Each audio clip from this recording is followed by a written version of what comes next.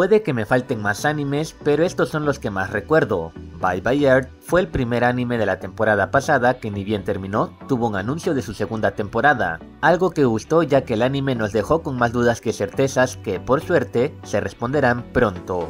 A este anime se le suma Wistoria, que también confirmó su segunda temporada poco después de la emisión de su capítulo final. La waifu rusa se tomó su tiempo pero también se unió a la lista de nuevas temporadas. A ella le siguen Elusive Samurai, Oshinoko, Yosakura Family, Frieren, Mahou Shouyoni, Akogarete, Tensei Shitara Slime, Spice and Wolf, Senpai-san Otanoko, Overlord, The Dangers in My Heart y Grand Blue Dreaming. De esta lista solo Tensura, The Elusive Samurai, Oshinoko y Yosakura Family se emitieron la temporada pasada.